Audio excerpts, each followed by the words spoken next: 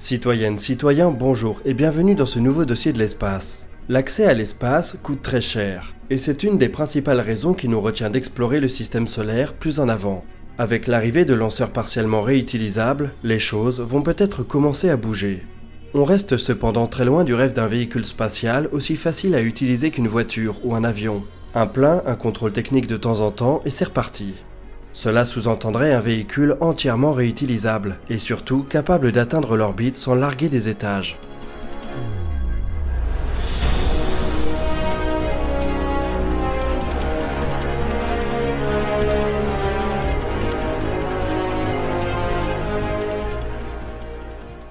Si toutes les fusées ont une conception en étage, il y a une bonne raison. La masse morte est l'ennemi juré de l'accès à l'orbite. Pour avoir une chance de se satelliser, il faut que l'immense majorité de la masse d'un lanceur soit constituée de ces ergols. En larguant de la masse morte au fur et à mesure de l'ascension, on s'assure de préserver ce ratio et donc les performances de la fusée. Il y a plusieurs façons d'y parvenir. On peut empiler des étages, chacun équipé de leur propre moteur, les uns au-dessus des autres, ou même les uns à côté des autres avec une architecture faisant appel à des boosters.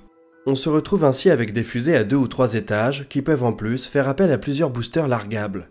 Cela fonctionne plutôt bien, même si forcément, les possibilités de réutilisation de tous les éléments sont limitées.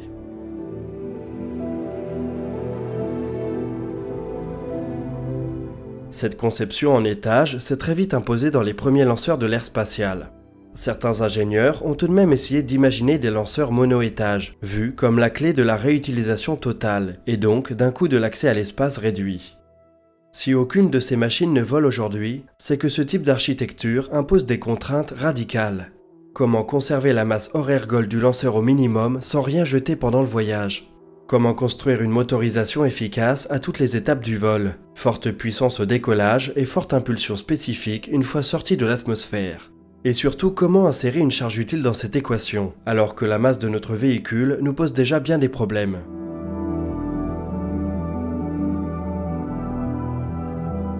C'est le casse-tête qu'essaient de résoudre les lanceurs dits SSTO pour Single Stage to Orbit. Des véhicules aux performances forcément moindres, mais qui se rattraperaient par une réutilisation totale. Il y a eu de nombreux concepts d'études sur le sujet, et certains de ces projets sont encore en développement.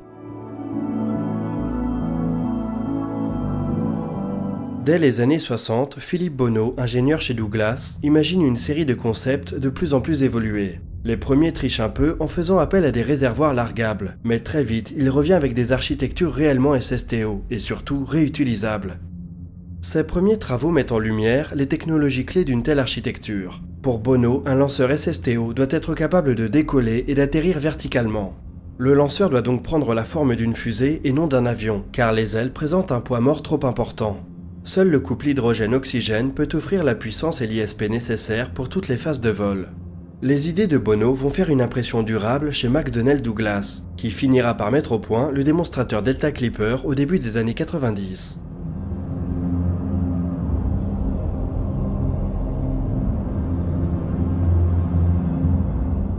Ce dernier nous offre un bon aperçu, en taille réduite, de ce à quoi ressemblerait ce type d'architecture. La forme conique de la fusée, les moteurs hydrolox à poussée modulaire, les matériaux légers et la nécessité d'une protection thermique pour la rentrée atmosphérique.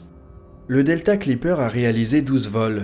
Il n'a jamais grimpé au-delà de 3 km, mais déjà ce modèle de test a pu démontrer le fort potentiel de réutilisation de l'architecture, avec parfois à peine plus de 24 heures entre deux vols.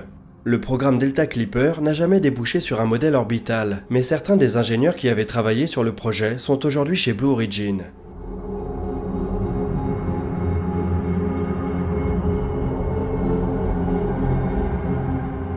Bien que Philippe Bonneau n'y ait pas cru, la piste d'un véhicule reprenant la forme d'un avion a séduit d'autres équipes. À peu près en même temps que McDonnell Douglas testait le Delta Clipper, Lockheed Martin commençait à travailler sur le X-33. Il s'agissait là encore d'un démonstrateur chargé de tester toutes les technologies nécessaires à la mise au point d'un véhicule SSTO.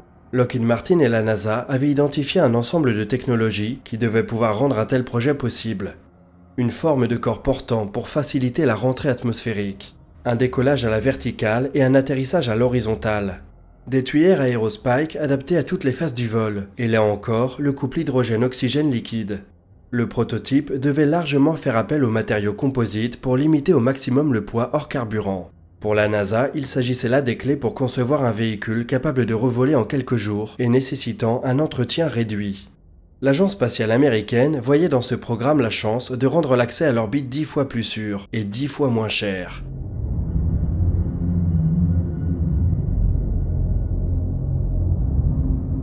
Les choses ne se sont malheureusement pas aussi bien passées. Le projet a été annulé en 2001 devant les difficultés techniques. La fabrication des réservoirs en matériaux composites notamment a eu raison des efforts de Lockheed Martin qui n'a pas pu concevoir un prototype aussi léger que nécessaire. Et c'est bien dommage quand on sait que les réservoirs cryogéniques en fibre de carbone ont depuis fait d'énormes progrès. De nos jours, on ne peut pas dire que les véhicules SSTO génèrent énormément d'intérêt. La récupération partielle semble monopoliser toutes les attentions, depuis que SpaceX a prouvé que le saut technologique n'est pas si important. Il reste tout de même une équipe au Royaume-Uni qui n'en démord pas. Vous avez peut-être déjà entendu parler de Skylon, l'avion spatial développé par Reaction Engine Limited. On peut retracer l'origine de son développement au début des années 80. Pour résoudre l'équation difficile d'un véhicule orbital mono-étage, le fabricant fait le pari d'un moteur capable de s'alimenter directement dans l'atmosphère, nom de code Sabre. La meilleure façon de maximiser la masse des ergols par rapport à la masse du véhicule, c'est encore de se servir d'ergols qui ne sont pas contenus dans le véhicule. Sabre est ainsi pensé pour pouvoir fonctionner de deux manières. Durant les premières phases du vol, il puise son comburant directement dans l'atmosphère. Le moteur brûle donc de l'hydrogène et de l'air. Arrivé à une trentaine de kilomètres d'altitude, la combustion passe entièrement sur les réservoirs internes. C'est alors de l'oxygène pur qui est brûlé avec l'hydrogène. Cette petite astuce doit permettre au Skylon d'économiser quelques tonnes d'ergol et de rendre ainsi la stratégie SSTO viable.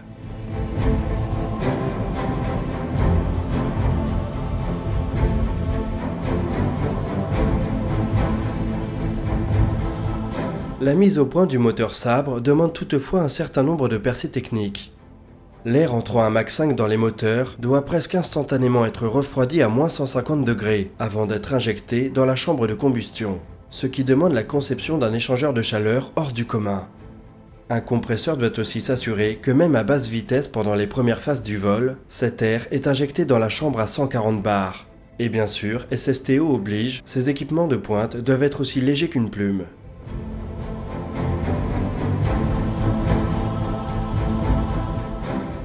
Si un véhicule tel que le Skylon est un jour mis au point, les performances comparatives par rapport à une fusée classique ne seront cependant pas bien reluisantes.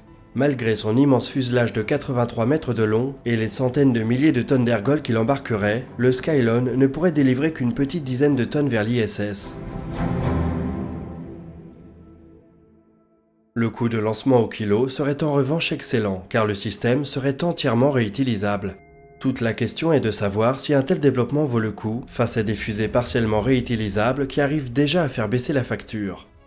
Pour réellement rendre les architectures SSTO intéressantes, il faut peut-être regarder au-delà de la propulsion chimique. Avec l'énergie nucléaire, on peut réunir forte puissance et grande impulsion spécifique. On avait vu dans le tout premier dossier de l'espace de la chaîne que des moteurs nucléaires avaient atteint des stades de développement avancés dès les années 60. La propulsion nucléaire thermique imagine ainsi fournir une poussée en détendant de l'hydrogène grâce à la chaleur d'un réacteur. Il en résulte une forte poussée, mais qui reste insuffisante pour propulser un premier étage ou un véhicule SSTO.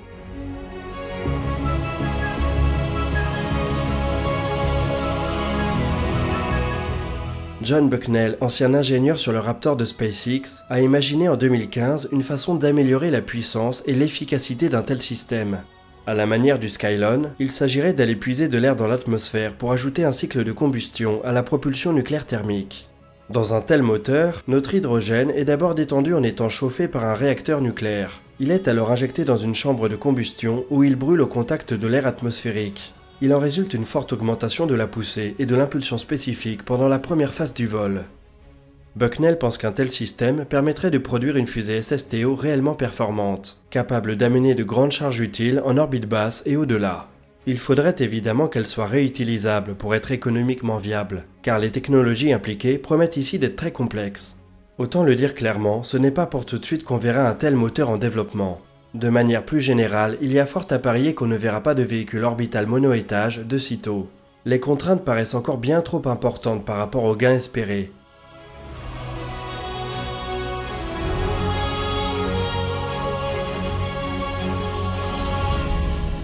Pour le moment, c'est une autre piste qui se dessine pour permettre la réutilisation totale des véhicules spatiaux. Le Starship de SpaceX et son booster vont s'atteler à ce défi au cours de la prochaine décennie.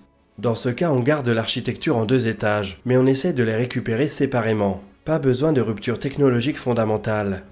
Si un Starship parvient un jour à se poser sur la Lune ou sur Mars, il faudra par contre qu'il redécolle de celle-ci à la manière d'un pur SSTO. En attendant, on peut continuer à rêver qu'un jour, le voyage spatial deviendra aussi simple que le voyage aérien, avec des véhicules conçus d'un seul bloc pour lesquels un plein suffit avant de reprendre les airs, qu'ils aient la forme d'une fusée ou d'un avion.